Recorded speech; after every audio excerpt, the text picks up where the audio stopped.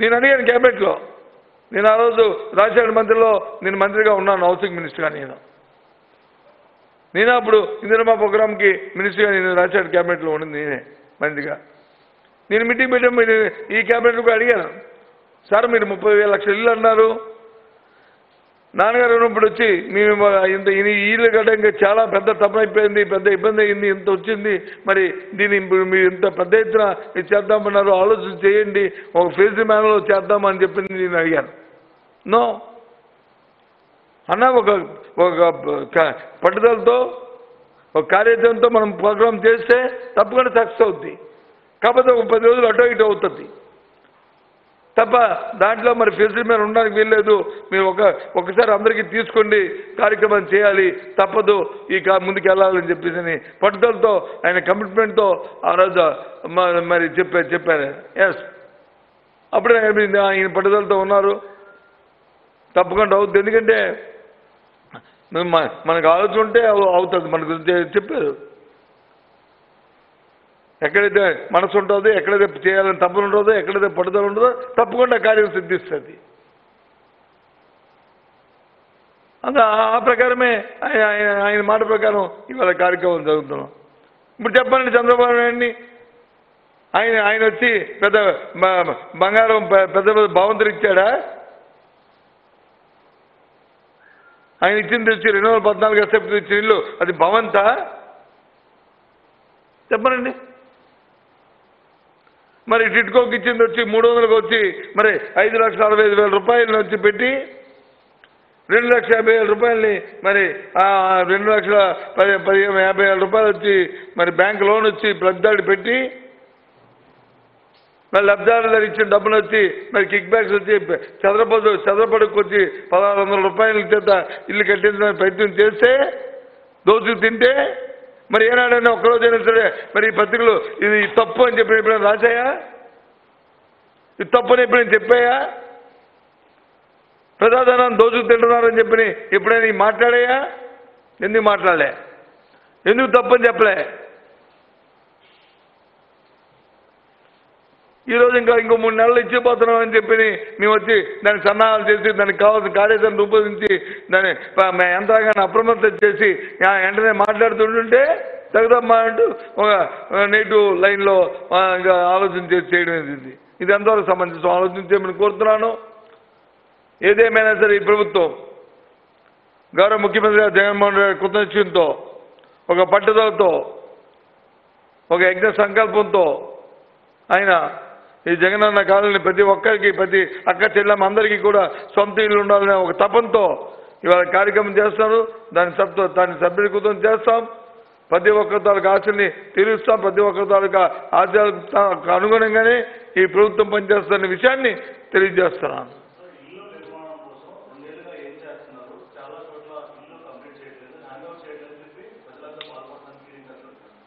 బాబు అదే కదా చెప్పాను నీకు. ఇప్పుడు చెప్పింది అదే కదా. కంప్లీట్ చేయడానికే కార్యాచరణ ఇచ్చాం. మూడు నెలలు ఆరు నెలలు మూడు నెలల నుంచి ఆరు నెలలు ఆరు నెలల నుంచి పన్నెండు నెలలు పన్నెండు నెలలు పద్దెనిమిది నెలల లోపల హ్యాండ్ ఓవర్ చేస్తున్నామని చెప్పి మరి మీ- అంతా ఫైనల్ డిసిషన్ తీసుకొని దానికి కావాల్సిన వనరులన్నీ సమీకరించుకొని దానికి కావాల్సిన మౌలిక సదుపాయాలన్నింటినీ కూడా యాక్షన్ ప్లాన్ తయారు చేసుకుని వాటికి అవసరమైన టెండర్లు పిలుచుకొని ఆ కార్యాచరణ రూపొందించి చేస్తున్నామనే విషయం చెప్తున్నాం కదా. మరి అలా అవన్నీ చేసేస్తే రోడ్డు ఎక్కడ రోడ్డు వేస్తామని చెప్పి ఎక్కడ రోడ్డు వేస్తామని చెప్పి పలానా పేపర్లో రోడ్లు వేస్తే అన్ని వేస్తారని చెప్పండి అక్కడ వెళ్ళాలి రమ్మనండి? ఈనాడు ఉన్నారు ఇక్కడ? వేస్తూ వెళ్దాం మనం. ఏదైనా కాలనీకి చెప్పు వెళ్దామని రెడీ. మీ మేనేజ్మెంట్ దగ్గర నుంచి నువ్వు పెర్మిషన్ తీసుకో. వెళ్దాం. అన్నీ చేయకుండా ఇవన్నీ చేస్తారుగా. ఒకటి ఇదిగో ఎన్నాళ్ళు అయిపోయింది ఇగో మా ఇప్పుడు వచ్చి సమాయత్తం అవుతుంది ప్రభుత్వం ఇప్పుడు ఇప్పటికైనా ఆలోచన చేసింది ఇస్తుంది మంచిదే సాంప్రదాయం అన్నారంటే ఇప్పుడు సంతోషం. అది కదే నిర్లక్ష్యం. ఇది మాకే నిర్లక్ష్యం లేదు. మా మేము మేము ఎప్పుడు అప్రమత్తంలో ఉన్నాం. మాకు ఒక్క ప్రజల పట్ల మాకు సస్తే నిర్లక్ష్యం లేదు. నిరస మా అసత్వం లేదు. అప్రమత్తం ఉన్నాము ఎంత బాధ్యతగా ఉన్నాము అప్రమత్తగా బాధ్యత ఉండబట్టే భారతదేశంలో కరోనా ఎంత ఉధృతంగా వచ్చినప్పటికి కూడా ఆంధ్ర రాష్ట్రంలో మన రాష్ట్రంలో ఎక్కడ బెసక్కంట మెసక్కంట దాన్ని పూర్తిగా దాన్ని మరి మన చెప్పు చేతిలో తీసుకొచ్చి ప్రతి ఒక్కరికి పర్వాలేదు ఈ ప్రభుత్వం ఉంది ఈ ప్రభుత్వం నాకు ఆదుకుంటుందనే అనే ధీమాతో దాన్ని ఎదుర్కొన్నాం. ఎక్కడ కూడా చంద్రబాబు నాయుడు లాగా పబ్లిసిటీకో లేదా ఆడంబరాలకో లేదా దీనికో ఎక్కడ కూడా పోకుండా ముఖ్యమంత్రి. సమర్థవంతంగా దాన్ని ఎదుర్కొన్నాం. ఇది ప్రభుత్వం పనితీరు. ఓకేనా? ఇంకేమున్నాయా? చెప్పండి.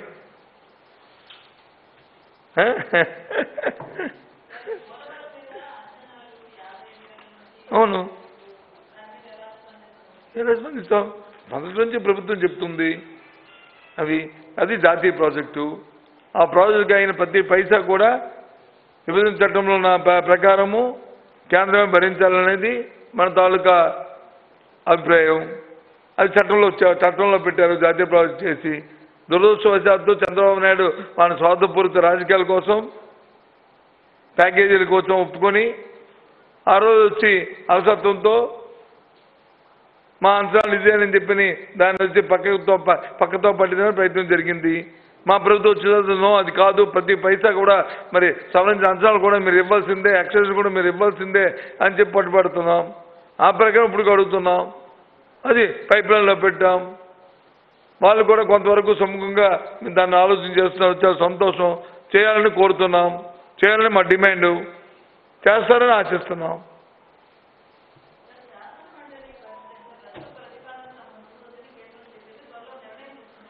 అబద్ధం చెప్పింది ఏమిటి? చెప్పింది అబద్ధం? మేము మేము పంపించింది అబద్ధం. రెండు నిజమే కదా? రెండు నిజమే కదా? మేము పంపించాం కదా? అవును. మేము పంపించాం. పంపించిన విషయం నాకు చెప్పారు.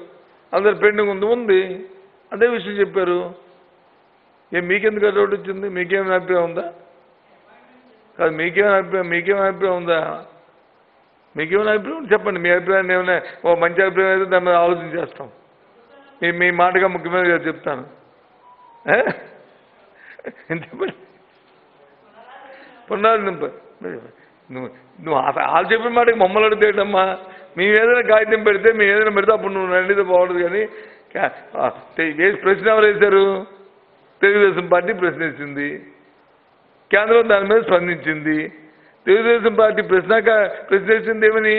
ఇలా వద్దని పెట్టారు. ఆ ప్రతిపాదన మీద మీరు పెండింగ్ ఉందని అడిగారు. కేంద్రం వచ్చి అవును వాళ్ళు తీర్మానం చేసి పంపించారు పెండింగ్ మాదిరి పెండింగ్ ఉంది పరిశీలనలో ఉందని చెప్పారు. దానికి దానికేంటి?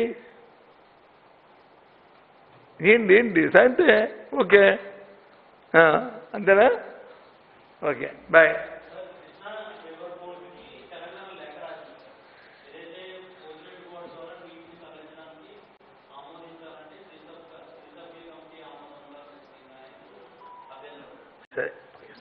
సార్. తెలంగాణ ప్రభుత్వం కానీ ఆంధ్రప్రదేశ్ ప్రభుత్వం కానీ కర్ణాటక కానీ భారతదేశంలో ఏ రాష్ట్రమైనా సరే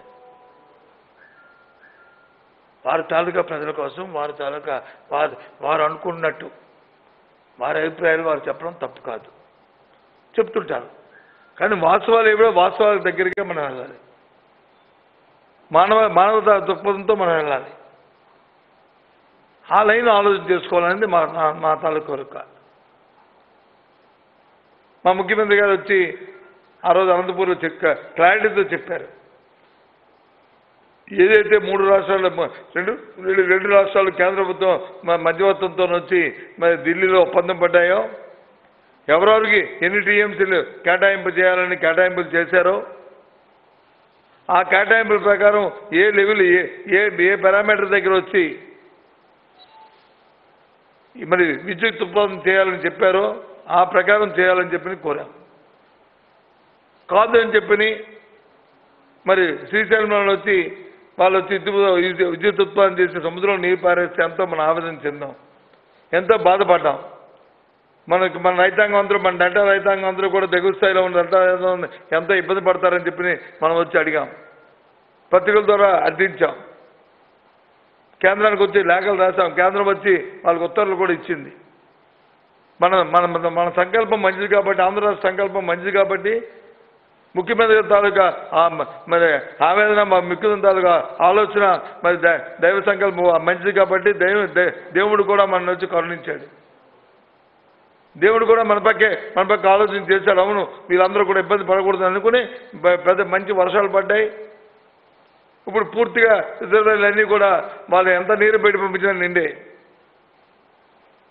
అదే మన మనసు మంచిదయ్యి మనం చేసిన కార్యక్రమం మంచిదైతే ఎప్పుడు కూడా దానికి దేవుడు కూడా తదాస్తూ మంచిదని కోరుతాడు. ఆ ప్రకారం జరుగుతున్నాయి.